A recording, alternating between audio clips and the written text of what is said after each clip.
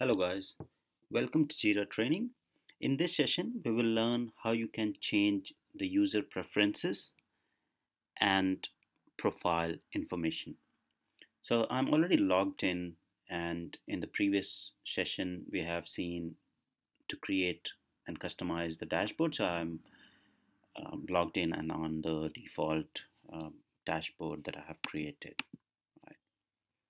So in order to change the user profile or preferences, you just need to go to the top header, extreme right corner, and click on the profile. So you'll see the profile listed here and under profile you see the profile summary.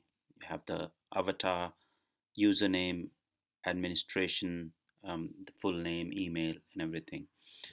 Uh, other listed so you can change the password you can clear uh, the token the groups that you are member of and then you can also see the project roles right?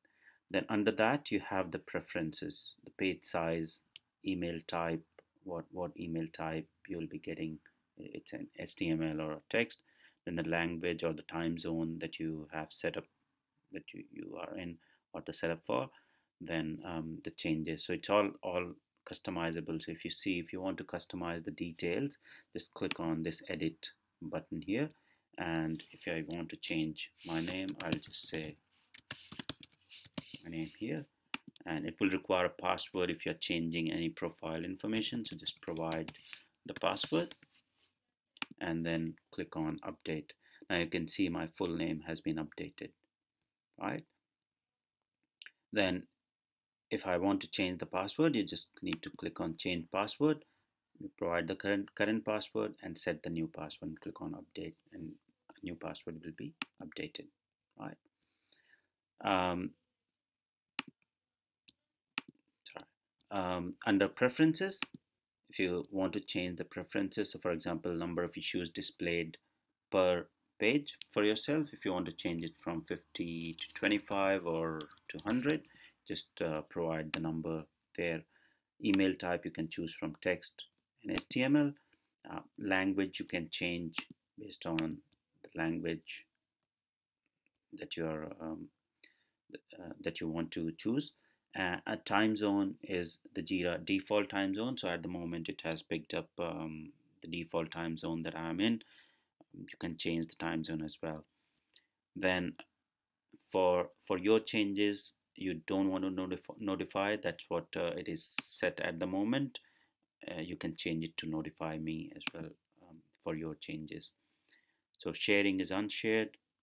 If you want to share everything by default so be it you know like filter dashboard just change it to shared. Uh, e email uh, keyboard shortcuts are enabled. So all these information or the preference information is being uh, can be updated. So just click on update and will be preference information has been updated successfully right? Then there are other options. So for example you know like you can view OAuth access tokens or the filters. You can see what all filters are available to you and the activity stream on the page as well. So that is pretty much all about your profile summary and what all can be edited in the profile summary and the preferences that you can change as, as a Jira user. Thank you.